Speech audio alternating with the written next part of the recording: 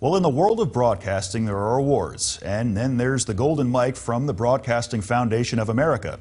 Perry Sook founded Nexstar in 1996 with one station, and today there are 174 and counting. Now, this award doesn't go to the biggest broadcaster, but the broadcaster with the biggest heart.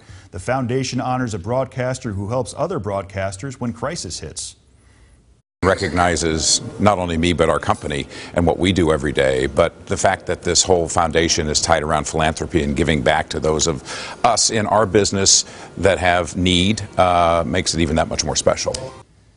Several of our fellow Nexstar employees who lost everything to Hurricane Michael were at the event to thank the foundation and Mr. Sook for helping them. But the man of the hour was the one who started as a paperboy and grew up to deliver a media empire. So congratulations to him.